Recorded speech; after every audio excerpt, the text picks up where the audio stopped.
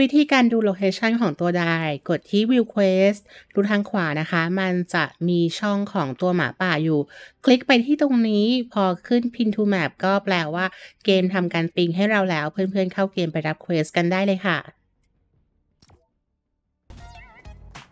ได้มันจะอยู่ที่ทางล่างสุดของ map เลยบริเวณที่ทราย ping อยู่เนี้ยมันเรียกว่า Camp Cod เป็นหนึ่งใน landmark ที่ไม่ค่อยมีคนไปเท่าไหร่นะคะ เพราะว่ามันอยู่ใต้แล้วก็กว่าจะเดินเข้าวงก็คือไกลมาก มาถึงที่ Camp Cod นะคะ เพื่อนๆมาที่บ้านหลังใหญ่ได้เลยนะคะ Dire มันจะยืนอยู่ที่หน้าบ้านค่ะ เข้าไปคุยเรียกหัวข้อเครื่องหมายตกใจแล้วก็ กดที่เป็นนิ้วโป้ง แต่ถ้าใคร quest เต็มนะคะ มันจะขึ้นแบบทรายค่ะ เราไม่สามารถที่จะรับได้จะต้องไปลบ quest อันใดอันหนึ่ง เพื่อนๆก็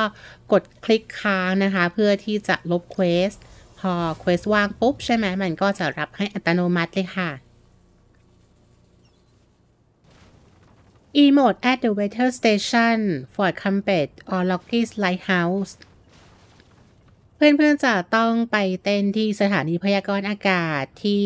Fort Crumpet หรือว่าจะเป็นประภาคารก็ได้ แต่ถ้าคนที่ไปรับ quest จากที่ตรงนี้นะคะ ก็สามารถที่จะเดินไปที่สถานีพยากรณ์อากาศได้ เพราะว่ามันใกล้ที่สุดค่ะ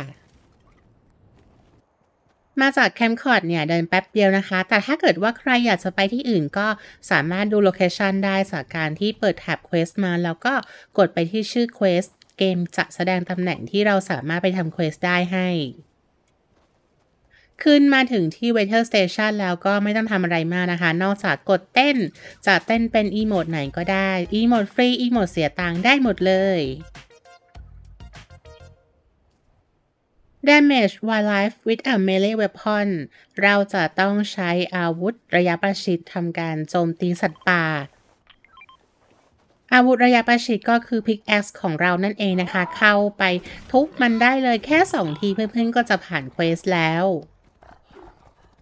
สัตว์แนะนำให้ไปตีพวกสัตว์ที่มันแบบโจมตีเราอะนะคะ เพราะว่าถ้าเกิดเพื่อนๆไปตีไก่เนี่ย ไก่มันจะวิ่งหนีแล้วเราก็ลำบากที่จะต้องไปวิ่งตามมัน ถ้าเป็นพวกหมูป่าหมาป่าหรือว่าแรปเตอร์เนี่ยมันจะวิ่งใส่เราเลยค่ะ Destroy a dumpster at Lazy Lake or Pleasant Park เราจะต้องไปทำลายถังขยะที่เมือง Lazy Lake หรือ Pleasant Park ก็ได้จำนวนหนึ่งถังซาจะพามาดูที่ Pleasant Park แล้วกันนะคะ เราจะไปกันที่ปั๊มน้ำมันของเมืองนี้กัน ที่หลังปั๊มนี้จะมีถังขยะอยู่หนึ่งถังนะคะ เข้าไปทุบ ทุบ ทุบ เรียบร้อยค่ะ Eliminate cube monsters in the sideways with a melee weapon เราจะต้องใช้อาวุธระยะประชิดหรือ pickaxe ในการฆ่า cube monster 5 ตัวไซเวย์จะเป็นวงกลมส้มๆม่วงๆนะคะ เมื่อเพื่อนๆเปิดแมปดูเนี่ยก็จะเห็นเลยว่า มันขึ้นเป็นหน้าตาแบบนี้แล้วก็ชื่อเมืองจะเป็นสีส้ม ก็หน้าตาเป็นแบบนี้นะคะ เวลาที่เพื่อนๆเข้าไปอะค่ะ อย่าเพิ่งรีบเข้าไปโบกกับมอน ให้แบบหาพวกกรอบพวกอะไรเติมใส่ตัวเองก่อนไม่อย่างนั้นนะคะ เราไปบวกใกล้ๆมากๆเนี่ยอาจจะโดนตบตายก่อนเราสามารถหาเกราะได้จากการที่เปิดกล่องทองในนี้นะคะ กล่องทองในนี้จะเป็นสีม่วงค่ะ ที่เสาใหญ่จะมีอยู่รอบๆ ก็ต้องระวังมอนด้วยค่ะ บางทีแบบมันชอบวิ่งเข้ามาหาเราก่อนน่ะ อ่าโอเค กินกรอบแป๊บหนึ่งถ้าเพื่อนๆมาคนเดียวนะคะ อาจจะใช้วิธีการยิงแบบมอนให้เลือดมันเหลือแบบน้อยๆ ก่อน แล้วก็เอาพิกแอคเข้าไปทุบได้ แต่ต้องระวังบางตัวอย่างเช่นตัวใหญ่ๆ แดงๆนี้นะคะ เวลามันตายมันจะระเบิดด้วย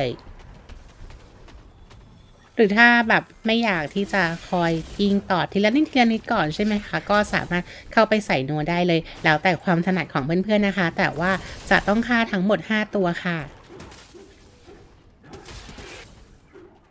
มาคนเดียวมันก็จะลำบากแบบนี้นะคะ เพราะว่ามันเป็นมอนที่โจมตีอัตโนมัติ แล้วก็จะมากันเป็นฝูงเลย ดังนั้นไซก็เลยจะแนะนำให้พยายามเติมเกราะเติมอะไรให้เต็มก่อนค่ะ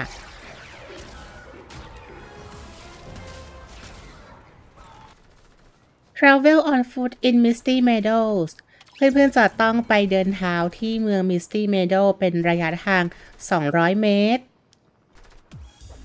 Misty Meadows ก็จะเป็นเมืองที่อยู่ทางด้านล่างของ map เลยนะคะ quest นี้ไม่มีอะไรเลยจริงๆค่ะ เพราะว่าเราก็แค่ไปเดินหรือไปวิ่งหรือจะใช้ emote เดินทางไปข้างหน้าแบบทรายอย่างนี้ก็ได้